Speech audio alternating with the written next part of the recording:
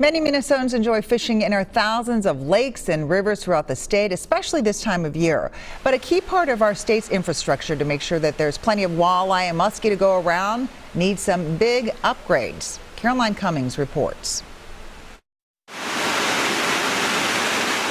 Inside this building in Waterville, thousands of fish swimming here will one day be ready for a hook and line statewide. I don't know if everybody connects, you know, the stocking with the fact that that's the only reason they're on that lake fishing, which is the case in some places. It's a fish hatchery where tens of thousands of fish are raised every year and then are stocked in Minnesota rivers and lakes, a way to enhance fishing opportunities that contribute $4.2 billion to the state economy. Southern Minnesota more more than anywhere else in the state really the hatchery is really critical to be able to provide fisheries um, for recreational use by our anglers. But the whole system here is stuck in another century. Much of the infrastructure is original, built in the 1950s. Here's our filtration system. Everything is manually operated. No technology to control the water temperature, no filtration, raising concern about invasive species. The Minnesota legislature earmarked $35 million for fishing improvements across the state. But in a bonding bill, this Waterville fish hatchery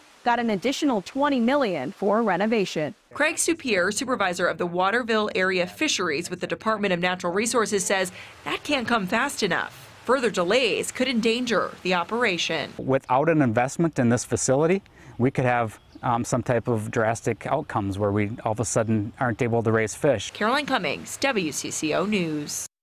The funding for fish hatcheries is just a slice of a package designed to improve campsites and make parks and trails accessible to people with disabilities.